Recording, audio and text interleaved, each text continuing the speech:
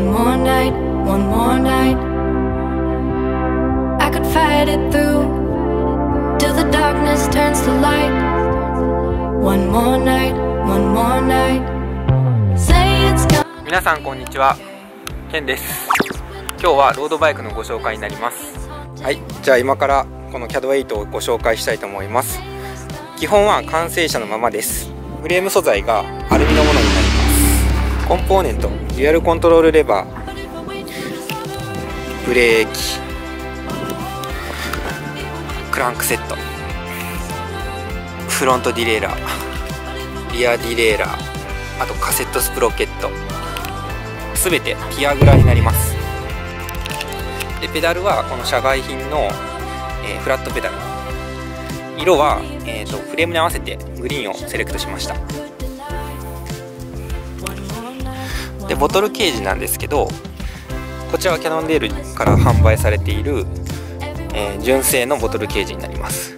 よく見るとこれ C っていう文字になってるんですよ。C でこっちはタックスです。でこっちもフレームカラーに合わせて、まあ、白と黒も入ってるので白と黒のモデル。バルブキャップは緑にしました。タイヤとホイールはこちらを使ってます。はいハンドル周りはこんな感じです。キャットアイのボルト200これフレームカラーに合わせてグリーンをセレクトしました。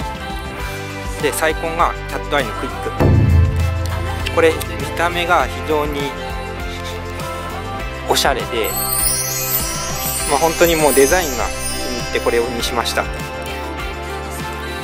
でステムとかハンドルはおそらくキャノンデールの C4 っていうものになります。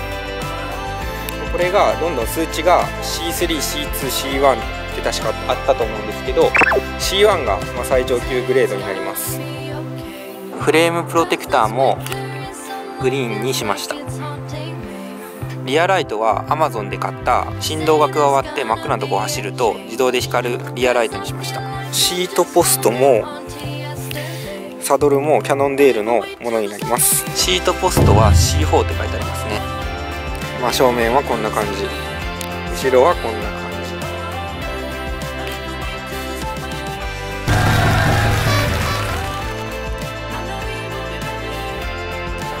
グッドボタンとチャンネル登録ぜひよろしくお願いします。はいご視聴ありがとうございました。